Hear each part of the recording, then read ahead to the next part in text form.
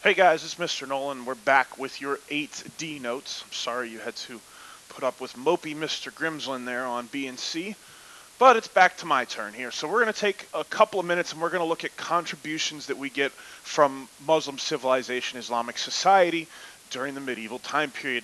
Remember in these units, just like with the Byzantine Empire and when we move into feudalism next, we're talking about the time period between the years 600 and 1000. Really, we're talking about what's known as the Dark Ages. I'm doing air quotes right now, Dark Ages in Eastern Europe or in Western Europe.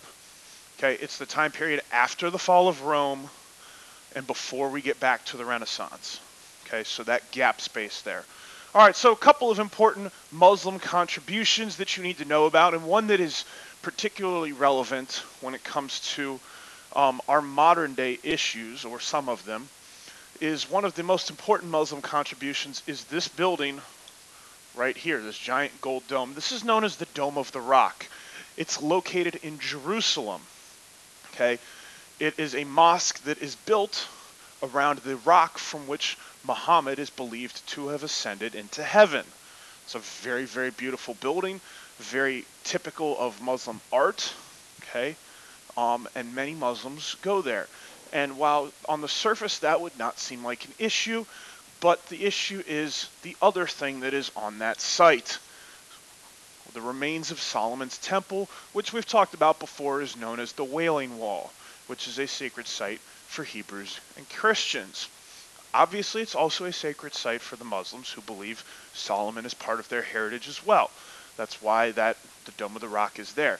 The issue is that there is disagreement occasionally between the Israelis and the Palestinians over having access to these um, to these sites. All right, so that's one of the big Muslim contributions in architecture. So that goes in your architecture box, the Dome of the Rock. Um, and even more specifically, just in general, an architectural achievement are domes. Now, we talked about domes also being a Byzantine achievement. They kind of come to them at the same time. So from both the Byzantines and the Muslims, we are going to get domes. Um, from both of them, we are going to get a similar art form, mosaics. The difference is what the mosaics were of. The Byzantines were a Christian empire, so those mosaics were generally depicting religious figures, so saints, Jesus, and so on and so forth. Muslims, on the other hand, their mosaics, as you can see here, are going to be more geometric in design. And part of that is that Muslims believe that art should not contain the human form or the form of any living animal. The Muslims believe that only Allah can produce something as beautiful as a human, so they should never try to. So Islamic art will typically be very geometric. It will be shapes, um, but we will not see human form in Muslim art. All right, um, the Arabic alphabet is one of their big contributions. The Arabic language is going to spread rapidly, rapidly, rapidly, rapidly throughout a significant chunk of the world. It is still one of the most used languages. Like, I mean, if you want the three languages you need to know to really function in the business world are English, Arabic, and um, Mandarin Chinese. Th- those are the three languages that are probably the most predominantly used in the quote unquote modern civilized world. So the Arabic alphabet is going to originate um, during the time of Muhammad um, in the early Muslim empire, and it's going to spread throughout the Muslim empire and become the predominant language in the Middle East, um, in Eastern Asia, or Western Asia, I'm sorry, the Middle East, Western Asia, and North Africa. Um, scholarship co- contributions we're going to have from the Muslims in scholarship is they develop these things that they call their houses of knowledge, which become the foundations for early universities. Um, and the work that is done in these houses of knowledge is they translate Greco Roman work into Arabic. So they take the works of Ptolemy, the teachings of Socrates, of Plato, of Aristotle. They take these guys' works and they translate them from Greek, from from Italian, and they preserve them in Arabic because they want their students to study them, so they translate them into their language. That makes sense. Just like we want you to study things, we translate it from Arabic into English. Okay, so they translate these things into Arabic, and I've said before, guys, that one of the main themes to all of the stuff that we study in the third quarter is the idea of the preservation of Greco-Roman knowledge. Okay, with the fall of the Roman Empire in the West, the West is going to enter the Dark Ages. That's our next unit, feudal Europe. Okay, the West is going to enter dark the Dark Ages. So this knowledge, this Greco-Roman knowledge, is lost in Western Europe for a thousand years, and it's rediscovered in the Renaissance. So we're going to talk about the places that it's preserved. The Byzantines were one of the first places where it's going to be preserved in Byzantine libraries. The Muslims are going to take it and preserve it as well. They translate it into Arabic. It gets stored in their houses of knowledge. That's how a lot of it will eventually be rediscovered in the Renaissance. Okay, moving on. Math. Okay, math. They're going to adopt what are known as Arabic numerals from India, and they bring the concept of zero west. Remember, we talked about the Gupta Indias. The Gupta Indians during the late Roman Empire had figured out the concept of the number zero. Okay, they hadn't really spread it a whole lot, but they had figured it out.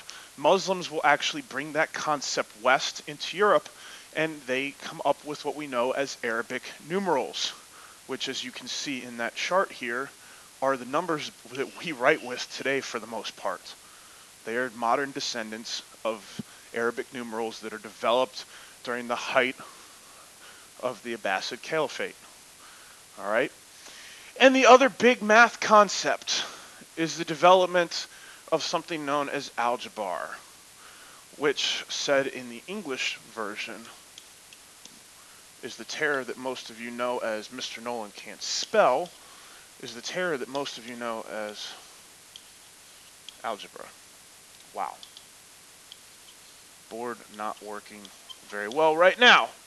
All right. So most of what we know from algebra comes from the Muslims during their height under the Abbasid Caliphate. Okay, so algebra is developed. A lot of the ideas, the equations, the proofs, the things that you guys are doing in your math classes, or some of you who took it did last year, then that is stuff that was developed by the Muslims. Okay, uh, we have an expansion of geographic knowledge. They come up with better maps. Um, we've talked about the spread of Islam is partially spread by trade. Um, merchants carrying things over long distances will spread Islam along with them. To travel long distances, you have to have accurate maps. Um, you have to learn how to navigate by stars. They have become very good at this as a people. Um, better maps, good ways of calculating distances, and then they learn how to use the stars to tell them what direction things are. Because, again, one of the five pillars of Muslim faith is that you have to pray five times a day facing Mecca. So from any place in the world, a Muslim who's traveling would need to know which direction Mecca is. So they become very, very good with geography. Uh, medicine. Medicine takes a lot of advances, huge advances under the Muslim Empire. Um, they create tests for doctors who pass before treating people. So we go beyond what the Romans and the Byzantines do of training the doctors. Now we create tests that they have to pass at the end before we let them actually treat people. I, I know this seems like common sense to you guys, but it's a big thing at the time. Um, they develop encyclopedias on drugs, write descriptions of diseases. Gosh, you would think when I borrow slides from the internet they could spell right. All right. Um, start their first pharmacy school. Pharmacy school. So like Rite Aid, right? Or um, Walgreens, the, the, the part in the back where they learn how to make different medicines. So we start to have our first foundations of way to um, treat diseases. Um, they find out how to diagnose and treat the deadly disease known as smallpox. So the Muslims come up with a cure for it. Um, unfortunately, that cure did not get sent with the Europeans when they came to America the first time, and smallpox devastates the Native American population a thousand years later. So those are some achievements that we have in medicine under the Muslims. Um, and then here in a little more detail, if you want it, are QR codes that again would cover all of those. Let me move this off of there so you can get to that code. So you can pause this video here and scan any of those QR codes that you want. If not, that is entirely up to you. And that is all for me for this unit. I will see you guys in Unit 9.